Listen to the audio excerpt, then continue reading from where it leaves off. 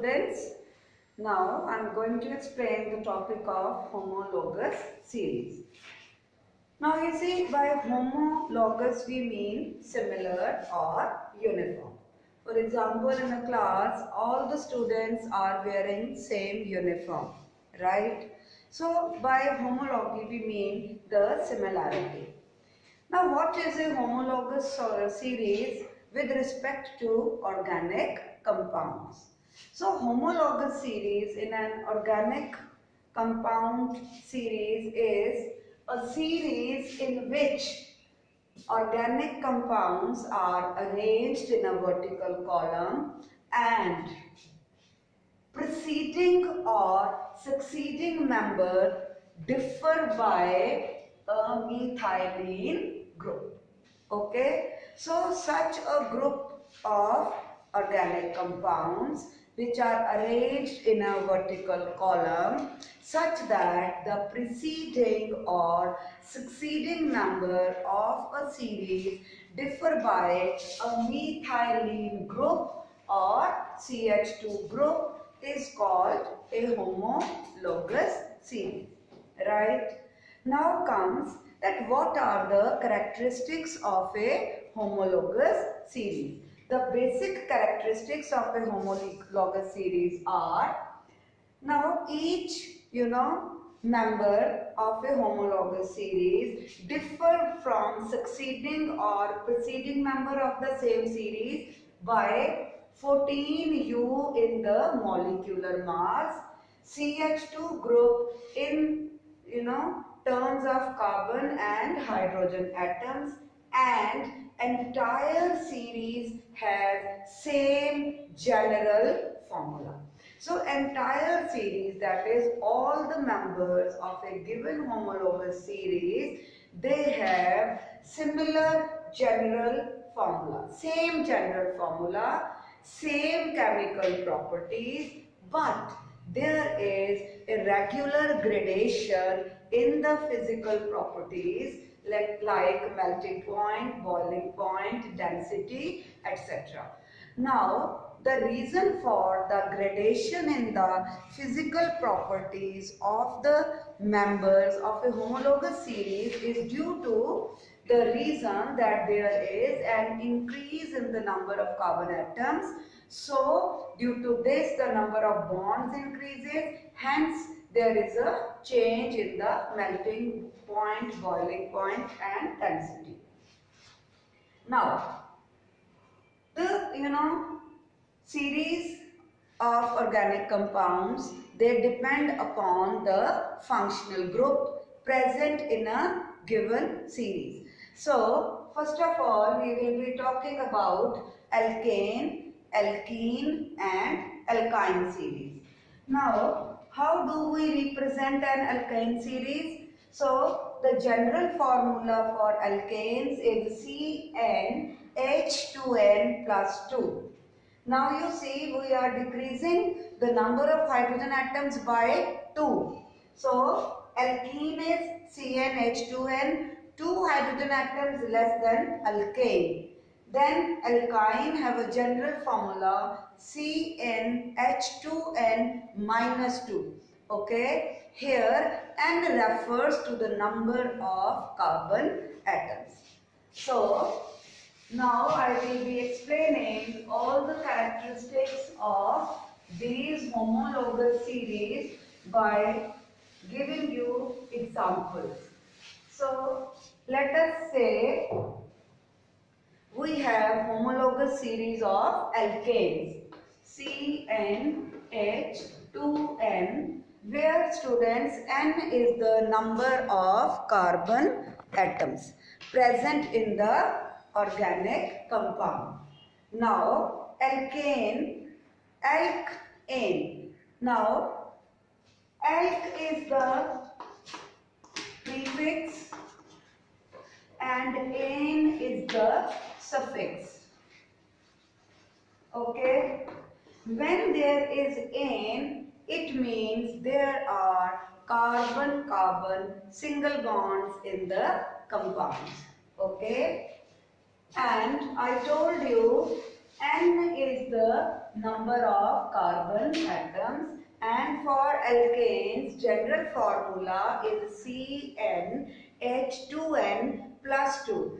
Now for the first member C will be 1 so the formula will be C1H2 into 1 plus 2 that comes to CH4.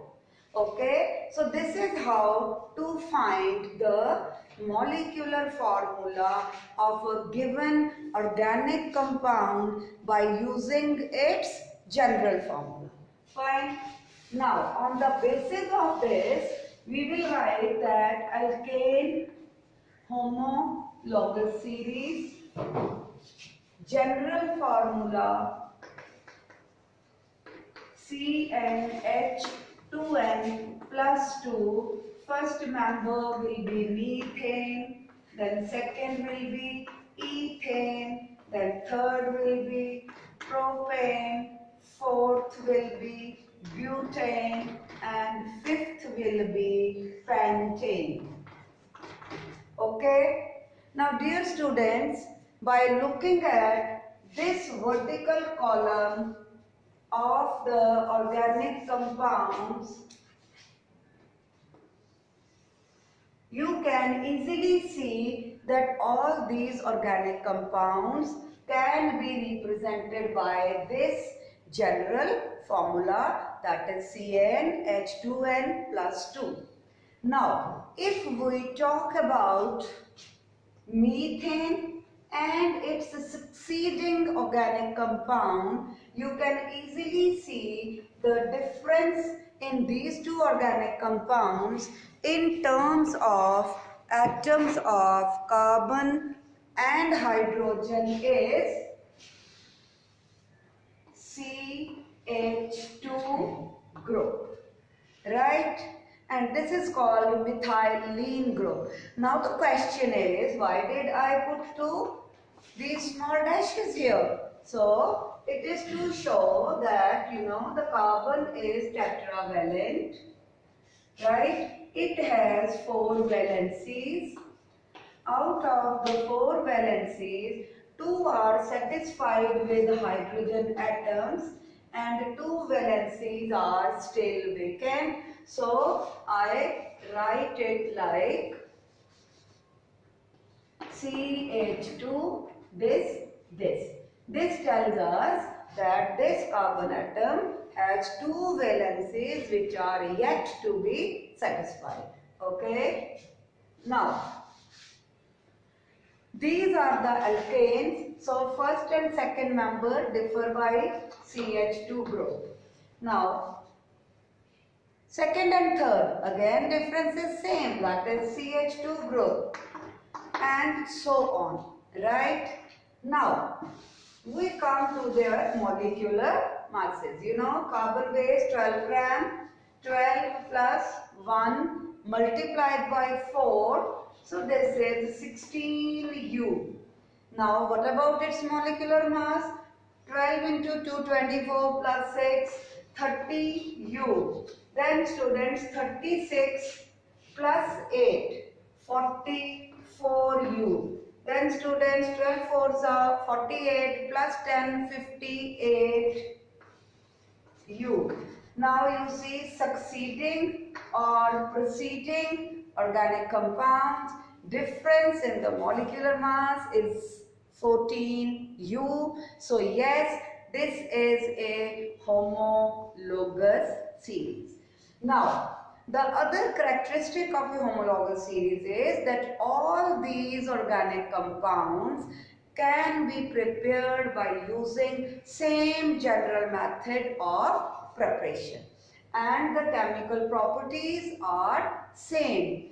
But there is regular gradation or change in the physical properties because of the reason that the number of bonds is increasing. So, the alkanes, the first members are gaseous and then liquid, right? Because the number of bonds is increasing.